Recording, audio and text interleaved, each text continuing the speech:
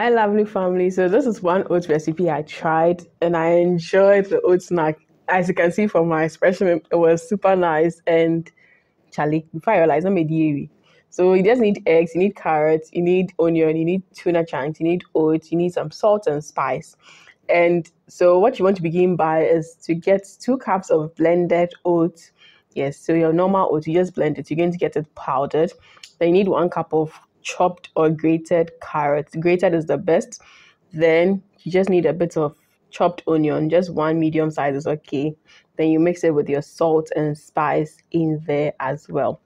So this recipe um, is great. It's a great snack. You can eat any time of the day, any day you want to, and it's great when you're checking your weight because you still need to eat, but you just want to eat in moderation and eat more healthy and fortified. Then I added in the tuna chunks or tuna, yes, tuna flakes in there as well. Then I mixed it together. You can use corned beef, you can use any protein of your choice, whether sausage, any protein of your choice, you can use it in there as well. Then once I'm done, I just create a hole in the middle.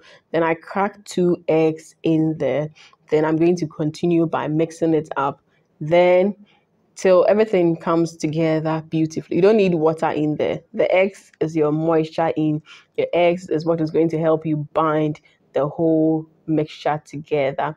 So this is one like simple recipe you really, really, really have to try it. It's more like an maybe should I say old balls or something, but I did a flatter to help it cook properly. You want the inside to be well cooked. So just do mold the mixture into balls. Then you can use your palms to just flatten it out and then get your circular shapes as well.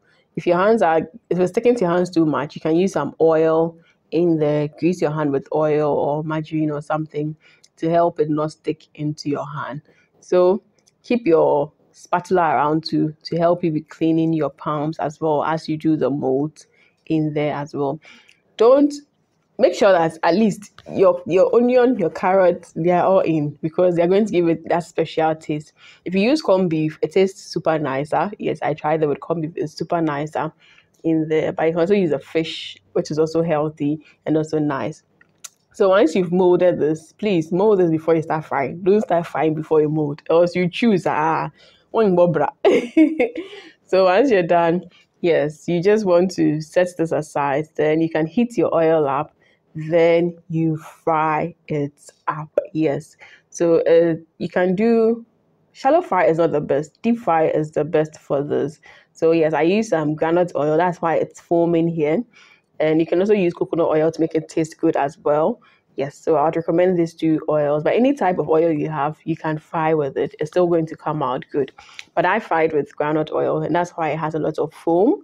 You may get a bit of foam as well if you're using um, coconut oil, but this is pure groundnut oil, um, um, not processed. So once this is cooking, you want to make sure you get golden brown in there. I recommend once your oil is heated and it goes in, reduce it to your lowest heat and let it cook over low heat so that it gets crunchy and the inside also gets cooked. And as it's frying, you do well to be turning both side of it so that one side doesn't cook more than the other side or it doesn't look more brown at one side than the other. So this is the simple tricks going about frying these old balls or old cracks or old snack, how you want to call it. Me myself, I don't know how to call it. Maybe you can give me a name in the comment section. Let me know how you want us to call it. Yes, so when it's golden brown, you can use the, the toothpick to just pick in and see whether the inside is also cooked. Once the inside, the stick comes out and it's dry, that means the inside is also well done. Then you can use your strainer to just pick it off or your colander to pick everything out of it. Then you fry the rest as well. So this is a simple, simple, like easy peasy um, old snack recipe. Just make the molds, you fry it, and make sure that um, it's golden brown. Yes, do it over low heat so that it cooks properly and don't be like one part is cooked, the other part is not cooked in there. And don't be eating your oats boring. It shouldn't always be porridge every day. And upper oats, and upper oats. Same style, same way. There be. I am also same kakra. You see that vibe? so yes, you can eat oats in varied ways. And this is one crunchy oat snack recipe I really want every Ghanaian home to try. Then I served this with some mayonnaise. Yes, so this has a bit of, you know, mayonnaise. A good mayonnaise has a bit of oil. It has um, egg, and then it has some vinegar in. So that gives it that kicky acidic taste in there because this is a bit dry. You can't eat just dry, dry like that. So the mayo makes it super tasty and nice. Yeah, so get some good correct mayonnaise. Don't go and buy any yawa yawa mayonnaise. yes, because the acidic taste also makes it feel good and it's just yummy. Like I enjoyed it.